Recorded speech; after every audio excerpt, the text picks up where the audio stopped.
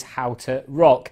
Alexander Santarpia is still at school, but he's already perfecting killer riffs. He's being tipped to be the next Edge, Slash, or Brian May, but he's got quite a few years on those guys. He's just six years of age. In fact, he's that good, he's even had the chance to play alongside a real life rock star. Matt Millington went along to meet him for On the Air. It's another pure grey morning. Don't know what the day's holding. And I get up. Most youngsters can only dream of rocking out with their favourite musicians. But for Alexander Santarpia, at the age of just four, that dream became a reality. Two years ago, an up and coming artist in the name of Jake Bugg came into his parents' restaurant for food. In the hours that followed, Alexander and the now famous rocker played song after song together a musician about to take the industry by storm, taking the time to rock with a four year old still in nursery. And this is why.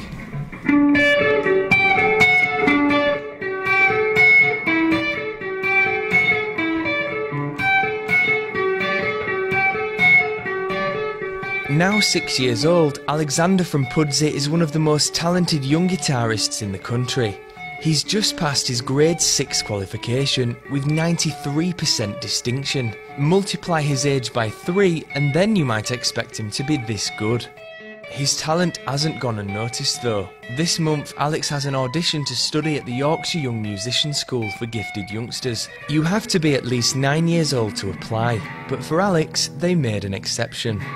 I'm very proud. Uh, I've got a son, such a talented son. He's he's very talented. What he's doing is amazing.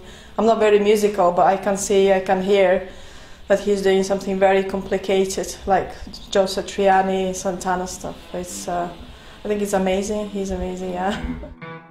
Being this good doesn't make everything easy for the youngster though. For example, finding a music teacher when the family moved to Leeds wasn't straightforward.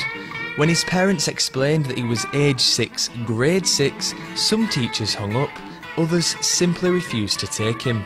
Tom Grant didn't, and he can't believe the standard he's at already. Well, he's absolutely phenomenal, really. Uh, I've never met uh, a person quite like Alexander in my life, especially at six years old. Um, he's just passed, or just passed with distinction, should I say, is grade six with uh, RGT, haven't you, Alexander? So, yeah. absolutely phenomenal, uh, especially due to his age. So. Four.